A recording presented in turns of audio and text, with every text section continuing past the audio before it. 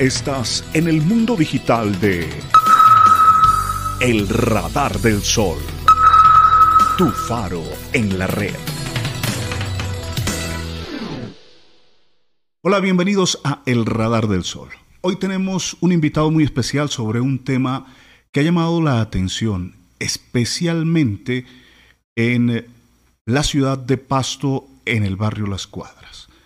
Se ha presentado una acción popular que deja un presidente jurídico no solamente en la región, sino para el país, a favor de los habitantes, de los residentes de este sector, frente a la convivencia, la tranquilidad que ellos exigen y el comercio y algunos locales específicamente que generan bastantes inconformidades a la comunidad. Pero para ello hemos invitado al ingeniero Jesús Cabrera. Jesús Alberto Cabrera está con nosotros. Bienvenido, qué gusto que nos haya aceptado esta invitación. Felipe, muchas gracias por invitarme a Radar del Sol y un saludo a los que nos siguen por las redes. Sí, como usted muy bien lo decía, el 21 de septiembre el juzgado noveno administrativo del circuito de Pasto emitió una sentencia que es histórica, en la cual eh, nos tutela los derechos constitucionales colectivos. ¿A qué? A vivir en paz, a vivir con tranquilidad, a vivir gozando de un espacio público para todos, no para unos pocos, a tener un ambiente sano y obviamente eh, también tutelando el derecho al trabajo de, de los que tienen también derecho las personas que viven en el sector de las cuadras y parque, parte del parque infantil. Para entender qué sector estamos hablando, quisiera decir que el polígono que se tomó para la acción popular fue los habitantes de las cuadras y el parque infantil ubicados en las carreras 29 a la 32 y las calles 18 a la 21. Ese es el polígono. Sobre eso, la jueza, que fue una mujer, en derecho falló en favor de la comunidad. En esa acción popular, nosotros que decíamos que no hay derecho que en Pasto pululen tantos bares, tantos gastrobares, tantos eh, establecimientos comerciales que generan un impacto tan grande que se genera un desorden social en la noche. Le voy a pintar más o menos lo que se vive de lunes a domingo incluyendo los días de fiesta eh, en ese sector. Llegan las 8 de la noche y empiezan a llegar los clientes recurrentes a ese tipo de establecimiento y empiezan a tomar licor. La gente tiene derecho a divertirse, pero uno, uno primero se pregunta, ¿de dónde es que sacan tanta plata para beber todos los días? Lo segundo es que el derecho que tienen aquellos para emborracharse si quieren tiene un límite que es el derecho que tienen los habitantes del sector a vivir en paz. Entonces, cuando empiezan a tomar, empiezan a sonar los altavoces de las discotecas, de los bares, gastrobares, a un sonido que ni siquiera eh, cualquier persona en su sano cuerdo puede resistir. Y entonces la tranquilidad, el sueño, porque estos establecimientos se cierran a las 2 de la mañana. Pero a partir de las 2 de la mañana viene otro jaleo. Es que la gente que va a las discotecas, a los gastrobares, a los bares a tomar, van en su carro.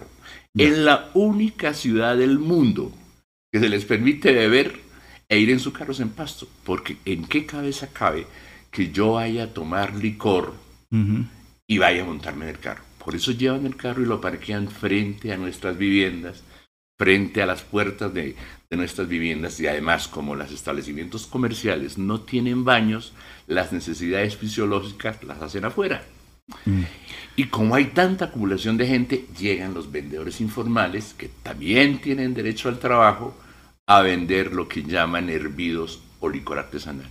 Imagínese usted el desorden social que se vive en la noche. Eso fue lo que presentamos en los hechos. Y dijimos, necesitamos que nos tutelen los derechos colectivos constitucionales a qué? A vivir en paz, a la tranquilidad, a gozar de un espacio, un ambiente, eh, un espacio público, a gozar de un medio ambiente sano, porque el medio ambiente también tiene su efecto constitucional, y la juez nos dio la razón y ordena en el fallo una cantidad de cosas que la administración municipal no ha hecho, porque la acción popular no fue interpuesta contra los bares, ni contra los banderos ambulantes, sino frente a la alcaldía, que es el administrador de la ciudad. Bien, es decir que a la larga lo que se está cuestionando es la negligencia administrativa de esta administración y de otras, porque se viene desde hace años atrás con esta lucha. El origen y la juez lo dice en el fallo. Es que es, una, es un fallo que es histórico por la jurisprudencia que está definiendo. Cuando se estructura el POT del 2015 con el acuerdo 004 en el gobierno de Harold Guerrero López, en algunas zonas de pasto se permitía un uso mixto. ¿Eso qué es? En zonas residenciales se podía meter establecimientos comerciales y ahí se genera el desorden. Porque ese uso mixto nunca fue reglamentado y tampoco los establecimientos comerciales que se ubican ahí para funcionar en la noche cumplen las normas vigentes en Colombia. Y eso fue lo que se demostró.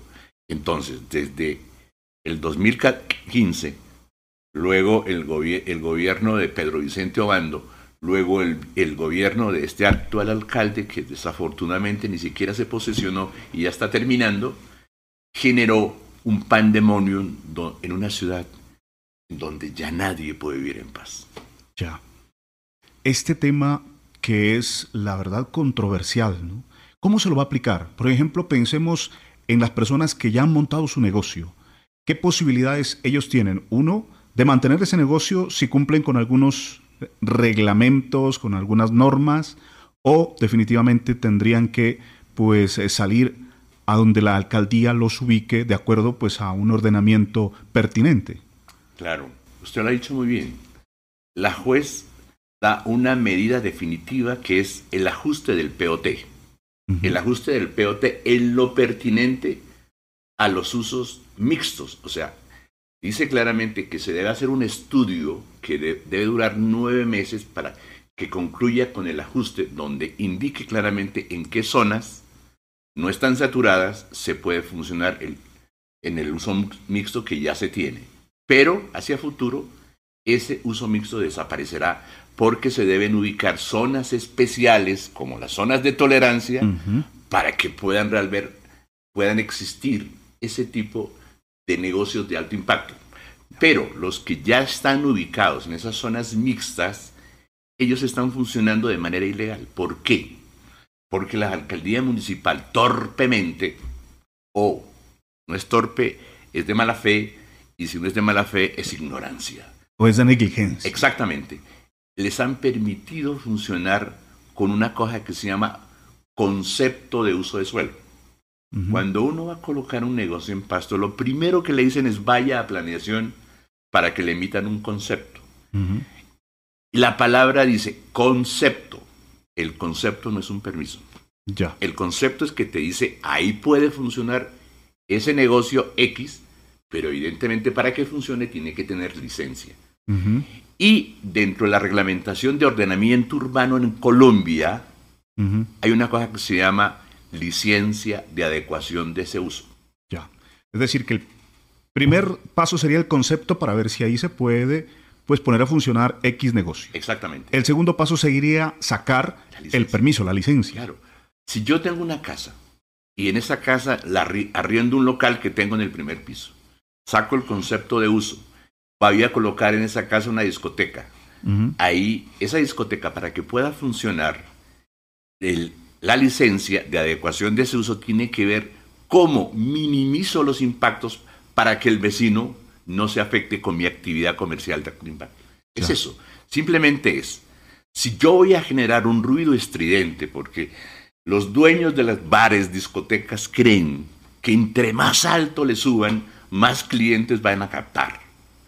Y la verdad es una locura porque los niveles de, ruido del número, el nivel de decibeles llega a niveles insospechados y entonces se genera el desorden auditivo. Entonces, si van a seguir en eso, tienen que insonorizar para que el sonido no salga. Ahora, si tienen X número de clientes, tienen que tener los baños suficientes para que los clientes que no, no aguanten las ganas, no salgan a la calle a hacer las necesidades fisiológicas, que es lo que se ve todos los días. Y si van a tomar en su propio carro, tienen que tener parqueros. Y ninguno en Pasto, con excepción de muy pocos negocios, tienen esas facilidades. Eso es lo que dice la norma. Entonces, en la aplicación del fallo, la juez dijo, tienen nueve meses para que hagan el estudio y definan dónde se ubican las zonas nuevas para diversión y se hace una revisión negocio por negocio para ver cuáles cumplen y cuáles no cumplen. Entonces, tienen nueve meses para el ajuste del POT y tienen tres meses, en tres meses tienen que presentar informes y además le ordena a la Secretaría de Gobierno, a través de sus dependencias correspondientes, que haga la verificación de toda la normatividad con los establecimientos. Le ordena a la policía para que acompañe a la Secretaría de Gobierno, porque cada uno, cada uno hace su papel. La policía, hay un código de policía que tampoco se está cumpliendo, porque ni siquiera la policía lo conoce. Es que es increíble lo que pasa en Pasto. Este, este, este, pasto, este pasto que antes era un remanso de paz, ahora se vio, se convirtió en un territorio de nadie. Entonces el fallo lo que busca es restablecer los derechos constitucionales a las personas que interpusieron la acción popular, pero también deja jurisprudencia porque dice, se debe dar prioridad al sector. Eso significa que toda la ciudad está cobijada con el fallo. Interesante. Usted ha comentado el tema de la policía y yo he visto a varios padres de familia, que llegan a llamar a la policía porque ya, digamos, el desorden en la calle se vuelve insoportable para pues, la tranquilidad, el sueño de las diferentes personas que habitan en los barrios que se ven afectados. ¿Qué pasa con la policía? ¿Si es una buena acción eh, rápida, eficiente frente a esas realidades y además porque hay un concepto a nivel también de la DIPOL y de la Policía misma Nacional porque Pasto se convierte en la primera ciudad que más riñas tiene, más eh, riñas de índice se presentan en la capital de Nariño frente a otras capitales en el país. Entonces, ¿cómo ve esa situación, el comportamiento de la Policía Nacional en cuanto al llamado de la comunidad? Antes de hablar de la policía, que evidentemente nos merece todo el respeto del mundo, tenemos que hablar del comportamiento ciudadano. El fallo también tiene una cosa muy interesante, es le ordena al municipio iniciar un programa de cultura ciudadana, porque el desorden público evidentemente tiene que ver con la presencia o no, la efectividad o no de la policía, pero también tiene que ver con el comportamiento humano. Los pastuzos, jóvenes y adultos tienen que entender que sí, es muy interesante tomarse sus tragos, pero no llegar a esos extremos de perder la cabeza donde se generan las riñas que son de todos los días en el sector y generan un proceso de intranquilidad y inseguridad grande. Y la policía, cuando uno ve que intentan hacer su trabajo, pero hay dos cosas. Uno, el, trabajo de la policía no es efectivo porque definitivamente se ha detectado que ellos están cansados de ir y que definitivamente no, la acción no tiene, no tiene respuesta porque los desborda. Y segundo, porque ellos mismos no han sido capacitados en qué comparendos está infringiendo el, ciudadano y les da miedo actuar porque cuando uno no tiene conocimiento tiene miedo de accionar. Entonces son dos cosas. El, el, desconocimiento de la policía, del propio código de policía. Es que el código de policía no es más que un manual de convivencia. Cuando uno está en el colegio, le, hacen leer el manual de convivencia. ¿Para qué? Para que se comporte bien con sus profesores y con los estudiantes. Es lo mismo. La ciudad tenemos que aprender a respetarnos los unos a los otros. Pero las personas que tienen, eh, que tienen la noche como su espacio de diversión, creen que ellos son los dueños de todo y no importa el resto. Y obviamente vienen todos los conceptos. La policía, necesita capacitarse para conocer el código de policía y la comunidad también tiene que morigerar su comportamiento a través de campañas de cultura ciudadana que se establezcan en el tiempo. Eso lo ordena el fallo. Bien. Compleja la situación. Compleja, pero hay que afrontarla. Bien.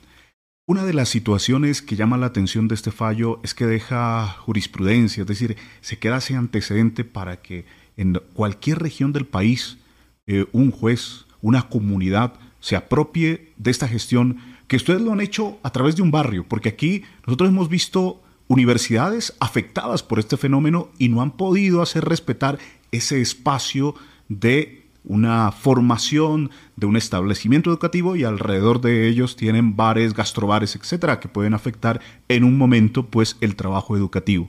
Ustedes lo logran a partir de una acción de la Junta de Acción Comunal del barrio Las Cuadras, que es interesantísimo. Y yo tengo que agradecerles a dos mujeres de esa junta, que fueron las que eh, me apoyaron cuando yo les dije, tenemos que hacer algo entonces me puse a hablar con abogados, eh, amigos míos. Me dijeron, la única posibilidad de que, puede funcionar es interponer una acción popular. Ya.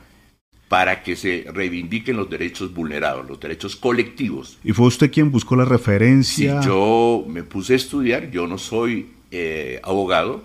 Y lo decía ayer en una rueda de prensa que hicimos. Eh, pero yo sé leer. Y yo puedo interpretarte una norma igual que cualquiera. Entonces, cuando fui a buscar a los abogados, me decían, ¿pero cuánto nos van a pagar? Dije, no, este es un tema ciudadano. Y pregunté aquí, pregunté allá, preguntándole a Mr. Google, eh, hicimos el formato, presentamos y estuvimos presentes en todas las audiencias donde estaba el defensor del alcalde, la defensoría del pueblo, se vinculó a los bares, se vinculó a los vendedores informales y contra los abogados nosotros escribimos nuestros argumentos porque son claros. Nosotros no queremos pelear con los dueños de bares, por supuesto que no, ni con los vendedores informales, por supuesto que no. Lo, nosotros lo que estamos reclamando en la acción popular es el sagrado derecho a vivir en paz, el sagrado derecho a la tranquilidad, y eso fue lo que tuteló la juez de manera eh, valiente, porque es que uno sabe también en Colombia que las entidades públicas no hacen sala, pero sí hacen antesala. Ella no se dio a las presiones y falló en derecho. Obviamente, la, la, eh, la, acción popular, el fallo está para quien lo quiera ver y además le sirve a todos los barrios de Pasto. Sí, señor. Y a todas las ciudades de Colombia. Nosotros lo estaremos compartiendo en nuestra página web elradardelsol.com para que ustedes tengan acceso al documento que nos han compartido los eh, dirigentes de la Junta de Acción Comunal del barrio Las Cuadras que han logrado este propósito. En primera instancia, usted también en la rueda de prensa nos comentaba que esta es una decisión jurídica que no se puede apelar. Sin embargo, ya ha habido alguna reacción, ¿cierto? Sí, sí, Eso lo pregunté yo previo a la rueda de prensa. Me dijo un abogado constitucionalista, si la juez en el fallo no define una segunda instancia, es inapelable porque como se está tutelando derechos constitucionales, los derechos constitucionales son superiores a los demás. Sin embargo, ayer ya me llegó la notificación de que la alcaldía de Pasto había presentado una apelación a la juez. Vamos a esperar qué contesta la juez, porque si hay apelación, tuviera, en teoría, la acción popular tendría que pasar al Tribunal Administrativo de Nariño. Pero la verdad, no puedo afirmar más de lo que ya sé. Sé que hay una apelación, y el abogado que le interpuso es el mismo abogado que defendió eh, a la alcaldía. Entonces son los mismos argumentos, o sea que van a seguir perdiendo. Y les digo a la, a la alcaldía, por supuesto, y al próximo alcalde, cualquiera que sea, nosotros iremos hasta donde nos toque ir. Si hay que ir al tribunal, iremos.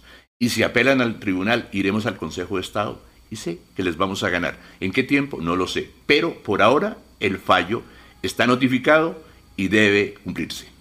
Y a propósito de eso, tenemos unos procesos que la, la misma decisión judicial determina, es decir, para quienes están de pronto en esa dificultad del incumplimiento de alguna norma, pues hacer un proceso con la administración, con la misma Policía Nacional, para dar cumplimiento a esos elementos. Pero también quien quede en la alcaldía de Pasto para el próximo año tendrá que asumir este reto también. Claro, ellos ya deberían estar estudiando este fallo. Porque créanme, Felipe, nosotros, así como tomamos la decisión del día de presentarlo y de, sustentarlo, el primer día del próximo alcalde, que es el primero de enero del 2024, estaremos ahí señor, cumpla este fallo. No, pero que nosotros no hicimos, no. Nosotros hacemos abstracción del nombre que esté ahí. Es la alcaldía municipal la que tiene que resolver el tema, nadie más. Y vamos a hacerlo cumplir porque es claro que si queremos vivir en una ciudad tan hermosa como este, que es la ciudad teológica de Colombia, la ciudad sorpresa de Colombia, la primera sorpresa es que nos devuelvan la paz que las malas administraciones nos permitieron por generar el desorden, porque están prevaricando, porque no están aplicando las normas. Ellos generaron este desorden a través de una cosa que se inventaron, la reactivación económica. La reactivación económica únicamente privilegiando el consumo de licor, bares y gastrobares. Por Dios, ¿en qué es que estamos pensando? A propósito de esa situación, también ayer se comentaba que esto se fortaleció precisamente después de pandemia, aunque se venía presentando este fenómeno años atrás. ¿Desde cuándo ustedes identifican, desde qué administración, desde qué año este fenómeno se comienza a dar, especialmente que se faciliten estos espacios donde no hay la posibilidad o se ven afectados los habitantes? Se origina en el POT del 2015 en el acuerdo 004. Eso fue con el señor Harold Guerrero López. Luego viene el profesor Pedro Vicente Obando, que también tuvo una administración nefasta. Y ahora viene este señor que no se ha posesionado. Es que definitivamente Pasto viene de tumbo en tumbo. El resultado es el desorden y el caos en la ciudad. Entonces no se puede identificar uno solo. Es la sumatoria de los errores. Por eso insisto en un tema el próximo alcalde tendrá que caminar derechito, aplicando normas para que esto no vuelva a ocurrir y que se restablezcan los derechos que ya han sido fallados en favor de la comunidad. Porque estoy seguro, pueden apelar si es que hay apelación, pero el, tribunal dirá lo mismo, porque es que no hay que ser magistrado ni abogado, hay que saber leer. Con criterio y determinación lo debe hacer el alcalde, pero también los concejales, y ustedes dieron la pelea en su momento ante el Consejo Municipal de Pasto en varios espacios. Por Dios, no me haga hablar del Consejo. No me haga hablar del Consejo porque me da, porque de allá nos sacaron. Un señor que ahora es concejal, no quiero decir nombre porque no se trata de politizar esto. Eh, ellos que deben hacer control político, no, ellos estaban es que los, eh, asobares y los negocios también financian campañas y entonces así no es. Eh, eh, el tema de aquí realmente sí es tener claridad en que el derecho que tenemos todos a hacer lo que se nos da la gana termina cuando empieza el derecho del otro. Bien, en este esfuerzo el seguimiento también entonces lo van a seguir realizando ustedes ¿Con quiénes pueden contar para que realmente lo que está escrito en la decisión judicial se vaya cumpliendo? ¿Cómo lo promueve la juez en ese sentido? No, es que la juez hizo un estudio muy interesante, además de definir lo del POT, de definir la acción de la, de la alcaldía, de la policía, de la capacitación en cultura ciudadana, de las, de las eh, inspecciones de policía que también las involucran en el proceso. La, la juez dijo, vamos a crear en el fallo un comité de verificación del fallo y en el comité de verificación está la juez, por supuesto, está la alcaldía, el alcalde, su delegado, el secretario de gobierno y su delegado, secretario de planeación y su delegado, pero también está la comunidad. Nosotros, los que accionamos, estaremos ahí verificando, mirando si esos informes que presentan son válidos o no, porque ya sabemos que es lo que han dicho antes, no pueden seguir mintiendo con las mismas mentiras. También está la personería, la procuraduría, la defensoría, todas las IAS y todas las asustadurías, si se quiere, están ahí y nosotros los vamos a obligar a que cumplan su papel. Sí, señor. Bueno, entonces, los señores que tienen bares, gastrobares, que generan eh, pues contaminación auditiva y otros factores que los hemos hablado aquí en esta entrevista con el ingeniero Jesús Cabrera, pues hay que informarse y estar muy atentos a el llamado de la administración municipal para el proceso a seguir, que va a ser de capacitación, que va a ser de cómo ellos pueden cumplir las normas o de lo contrario mirar otros espacios donde el ordenamiento territorial permite estas acciones y estos comercios como tal. Lo importante, yo diría, que se dialogue, pero que también eh, comprendan que las administraciones deben tomar decisiones importantes y que deben ser acatadas. Y por otro lado, las juntas eh, de acción comunal de los diferentes barrios que tienen esta misma dificultad seguramente van a encontrar, si gustan, una asesoría con Jesús o con todos los que han acompañado este proceso, porque este fenómeno afecta a varios barrios de la capital de Nariño Y no solamente de nuestra capital, sino de varias ciudades de Colombia. Sí, alguien me decía jocosamente que las cuadras están en compañía de Jesús. No, lo que quiero decir es que el fallo está, está disponible para todos. Y también se me estaba quedando que el fallo también obliga a la Secretaría de Tránsito a que haga operativos en la noche, porque el tránsito cree que su papel funciona únicamente hasta las 6 de la noche. Aunque ellos han dicho que ya la alcoholemia ha reducido. No, no, no, eso no es cierto. Eso no es cierto porque uno lo ve todos los días que la gente va a tomar en su carro, termina la jornada 2 de la mañana, siguen tomando en el carro y después se van como si nada hubiera pasado. Por Dios, pueden generar un accidente como se ve permanentemente. Las motos que son... ¿Cómo es posible que la gente salga a tomar, a libar licor y a, otra, a, consumir otro tipo de cosas en moto mm. y se permita en pasto? Eso te indica claramente que la ausencia del ejercicio de la autoridad y la aplicación de normas no existen en Pasto. Entonces lo que estamos diciendo es, si queremos una ciudad amable, tenemos que respetar las normas y también, de, como también está en el fallo, un gran programa de cultura ciudadana. El pastuso tiene que aprender a manejar su comportamiento porque no todo el tiempo se puede vivir en carnaval. Sí, el carnaval es muy sabroso, pero todos los días, por Dios, hay que trabajar, hay que producir y hay que dejar descansar a los demás. Pues es muy amable, usted ha sido muy claro en el tema, le agradecemos su atención. Felipe, muchas gracias y espero que la gente tome este fallo y los barrios también lo hagan aplicar. Lo defiendan porque es su fallo, es un fallo de la ciudad de Pasto. A ustedes amigos y amigas, si esta información fue importante, relevante para ustedes, no se olviden de suscribirse a nuestro canal de YouTube El Radar del Sol. Eso es importante. De igual manera, seguirnos en las redes sociales y visitarnos en nuestra página web elradardelsol.com. Un abrazo y que estén muy bien.